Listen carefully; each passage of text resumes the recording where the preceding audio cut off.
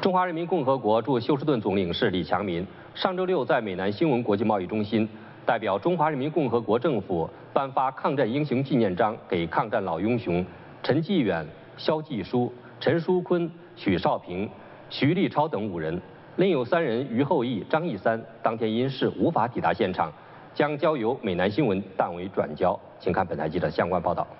美南报系董事长李维华先生首先在颁奖典礼上致欢迎词。欢迎总领馆代表、侨界社团代表以及媒体朋友们。他说：“我感到非常骄傲，在美南国际贸易中心举办这个颁奖盛会。我本人是在昆明出生，而飞虎队陈纳德将军当年就是在昆明战斗，并生活了许多年。”吕卫华董事长也向大家预告，美南报业电视传媒集团将于今年的十一月七日举办二战胜利七十周年大型综艺晚会，预计将有超过三万人出席此盛会。这也是告诉现今的年轻人二战的那一段历史。李强民总领事也在颁奖大会上向在场的二战老兵表达中国人民军事委员会向各位的敬意。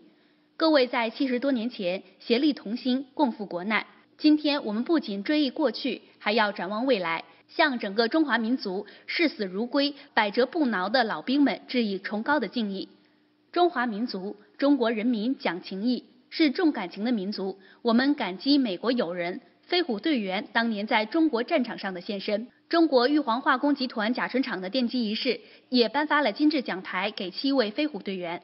这次习近平主席访美，中美两个大国深化友谊，共同面对挑战，深入探讨，达成了广泛共识。如今已有四十九项成果，相信中美两国合作互利，对世界的和平发展将有重大的影响力。陈纳德将军的外孙女内尔·凯勒威以陈纳德航空军事博物馆的发起人身份致辞。他感谢二战老兵，感谢李维华董事长，让他们的基金会在国际贸易中心安家。他们最后的理想是建立陈纳德将军学院，并完成先祖的遗愿，希望他们的飞虎队还能在天上飞行。最后，由中国驻休斯顿总领事馆总领事李强民大使依序颁发奖牌给抗战老英雄们，并与他们合影留念。